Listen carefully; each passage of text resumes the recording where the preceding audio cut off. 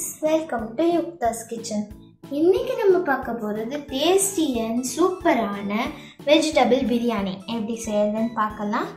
வாங்க. வாங்க நம்ம வீடியோக்குள்ளே போடலாம் அதுக்கு வந்து ஒரு குக்கர்ல நான் வந்து ஒரு ரெண்டு டேபிள் ஸ்பூன் அளவுக்கு எண்ணெய் விட்டுருக்கேன். இது கூடவே நம்ம ஒரு டேபிள் ஸ்பூன் அளவுக்கு நெய் விட்டுட்டா நல்லா வாசனையாக இருக்கும். அப்புறமா சாதம் வந்து நல்ல உதிரி உதிரியா கிடைக்கும்.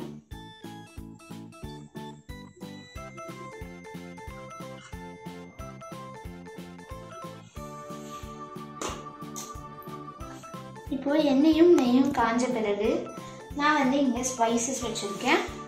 ரெண்டு கிராம்பு ஒரு பட்டை ரெண்டு பிரிஞ்சி இலை ஒரு அன்னாச்சி பூ ஒரு பிஞ்ச் அளவுக்கு கடல் பாச்சி அப்புறமா ரெண்டு மராட்டி மூக்கும் கொஞ்சமாக முந்திரி எடுத்திருக்கேன். இது எல்லாத்தையும் நம்ம இதில் ஆட் பண்ணி லைட்டாக வறுத்து எடுத்துக்கலாம்.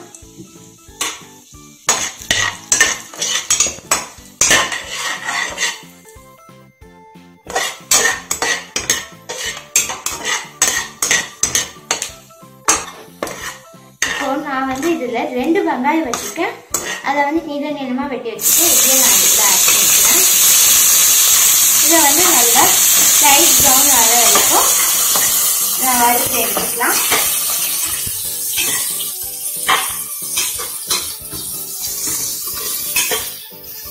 வெங்காயம் வதங்கினதுக்கப்புறம் நம்ம இஞ்சி பூண்டு பேஸ்ட் ஆட் பண்ணிக்கலாம். இப்போ வந்து நான் ரெண்டு பச்சை மிளகாவை நடுவில் கீறி வச்சிருக்கேன். ஒரு கை அளவுக்கு புதினா எடுத்துருக்கேன். அதுவும் இது கூட ஆட் பண்ணிக்கலாம்.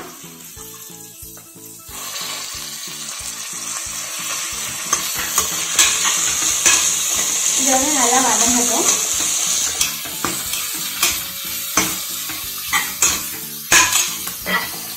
ஸோ இந்த ஸ்டேஜில் நான் வந்து இஞ்சி பூண்டு பேஸ்ட் ஆட் பண்ணிக்கிறேன். இதில் வந்து ஒரு டேபிள் ஸ்பூன் அளவுக்கு இஞ்சி பூண்டு பேஸ்ட் இப்போ இதெல்லாம் நல்லா வதங்கின பிறகு நான் உங்களுக்கு பார்க்குறேன்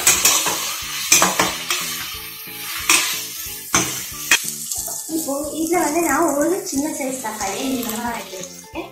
இதுக்கு வந்து தக்காளி கம்மியாக இருந்தாலே ஓகே இப்போ இது கூடவே தக்காளி வெங்காயம் தக்காளி வதங்கிறதுக்காக கொஞ்சமாக உப்பு ஆட் பண்ணிக்கிறேன். சரி எல்லாத்தையும் நல்லா கலந்து வச்சுக்கலாம்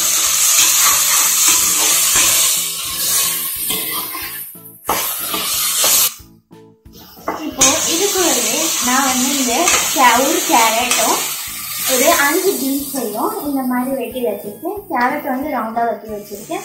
பீன்ஸ் வந்து இந்த மாதிரி நீள நீளமாக வெட்டி வச்சுருக்கேன் இதையும் நம்ம இதில் ஆட் பண்ணிக்கலாம். அதுக்கப்புறமா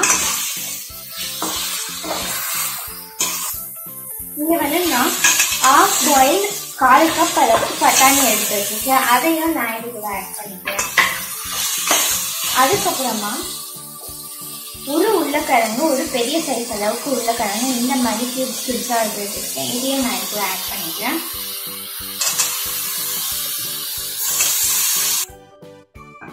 இப்போ பார்த்தீங்கன்னா இது எல்லாத்தையும் நல்லா வதக்கிக்கலாம். இந்த சாதத்தில் வந்து பார்த்தீங்கன்னா நம்மளுக்கு எந்த மசாலாவும் இல்லை. சில்லி பவுடர் மஞ்சத்தூள் பெப்பர் பவுடர் எந்த பவுடருமே இதுக்கு வந்து நம்ம ஆட் பண்ண போகிறது ஈவன் கரம் மசாலா கூட நம்ம ஆட் பண்ண போகிறது இந்த ரெண்டு பச்சை மிளகாவே இதுக்கு போதும். ரொம்ப ஒரு நல்ல காரமான சூப்பராக இருக்கும். நீங்கள் கண்டிப்பாக இதை வீட்டில் ட்ரை பண்ணிவிட்டு உங்களோட கமெண்ட்ஸில் கமெண்ட் பாக்ஸில் ஷேர் பண்ணுங்கள் இப்போ வந்து நான் இதில் ரெண்டு டேபிள் ஸ்பூன் அளவுக்கு தயிர் வச்சுருக்கேன். அதையும் நான் இது கூட ஆட் பண்ணிக்கிறேன். தயிர் அல்லது லெமனும் நீங்கள் ஆட் பண்ணிக்கலாம். ரொம்ப டேஸ்ட்டாக இருக்கும். இது வந்து அந்த பிரியாணிக்கு ஒரு ஷைனிங்காக ஒரு ஃபினிஷ் கொடுக்கும்.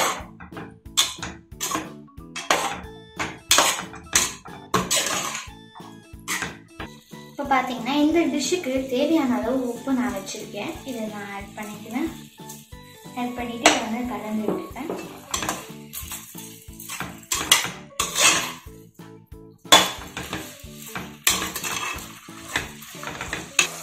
இப்போ பார்த்தீங்கன்னா நான் இது அளவு தான் ரைஸ் எடுத்திருக்கேன். இதே ஃபுல்லாக அதே மாதிரி தண்ணியும் ஊற்றிக்கிறேன் எந்த அளவுக்கு ரைஸ் எடுக்கிறீங்களோ அதே அளவுக்கு தண்ணி ஊற்றிக்கலாம்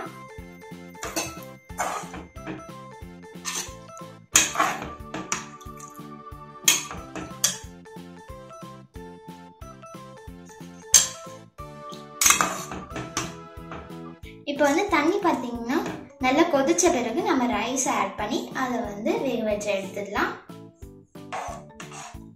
இப்போ பார்த்தீங்கன்னா நம்ம வந்து அரிசியை போட்டுட்டு இதை வந்து மூடி வச்சுட்டு ஒரு விசில் வந்து நம்ம போட்டு வச்சுட்டோம்னா இதுக்கு வந்து நம்ம அரிசி போட்டுட்டு அதை வந்து நம்ம மூடி வச்சுட்டு ஒரு விசில் விட்டோம்னாலே போதும். ஒரு விசில் விட்டுட்டு நீங்கள் உடனே திறக்காதீங்க. அதை வந்து அந்த கேஸ் ரிலீஸ் ஆகிற வரைக்கும் விடுங்க. ஏன்னா அந்த ஸ்டீம்லேயே நம்மளுக்கு வந்து ரைஸ் நல்லா வெந்து நம்மளுக்கு வந்து நல்லா உதிரி உதிரியாக கிடைக்கும். நம்ம அப்படியே கடைகளில் வாங்குற மாதிரியே இருக்கும். ரொம்ப டேஸ்டாகவும் இருக்கும். இப்போ வந்து நான் ஒரு பவுலில் நான் போட்ட அளவுக்கு ரைஸ் வந்து வச்சுருக்கேன். அதில் வந்து தண்ணி ஊற்றி நான் ஆஃப் அன் ஹவர் வந்து இதை வந்து ஊற வச்சுருந்தேன். இப்போ வந்து இந்த கொதிக்கிற தண்ணியில் நான் வந்து இந்த ரைஸ் ஆட் பண்ணிக்கிறேன்